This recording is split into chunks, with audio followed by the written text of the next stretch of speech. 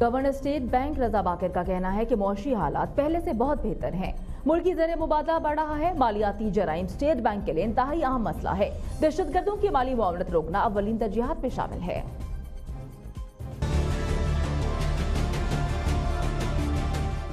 کراچی میں دوسری financial crime سمٹ سے خطاب کے دوران رضا باقر نے کہا کہ اسٹیٹ بینک مالیاتی شعبے میں اصلاحات کو جاری رکھے ہوئے ہے ایکسچینج ریٹ میں ہم بہتری کی طرف گامزن ہیں۔ ایکسچینج ریٹ میں تبدیلی کا فیصلہ درست تھا۔ شرح مبادلہ کے نئے نظام سے لوگوں میں اعتماد کی فضا بحال ہوئی ہے۔ شرائط میں نرمی بہتر صورتحال سے مشروط ہے۔ غیر منظم سرگرمیوں کو ختم کر کے دستاویزی سرگرمیوں کو فروغ دیا جا رہا ہے۔ معیشت کو دستاویزی شکل دینے میں روکنے والے عناصر کی سوچ بدل رہی ہے۔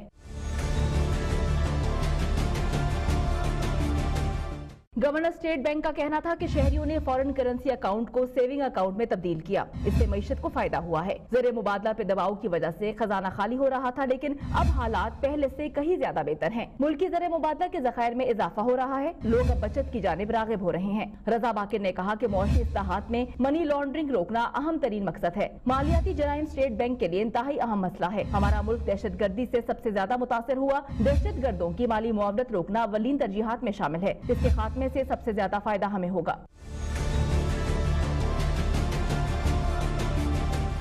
گورنر اسٹیٹ بینک کا کہنا تھا کہ ہم نے ایف اے ٹی ایف کی شرائط پر عمل کیا۔ ایف اے ٹی ایف کی ستائیس شرائط پر کام جاری ہے۔ ٹریڈ بیس منی لانڈرنگ اور ٹیرر فائنانسنگ روکنے کے لیے قوانین بنا دیے گئے ہیں۔ بین الاقوامی ادارے بھی پاکستان کی کاوشوں کو سراہ رہے ہیں۔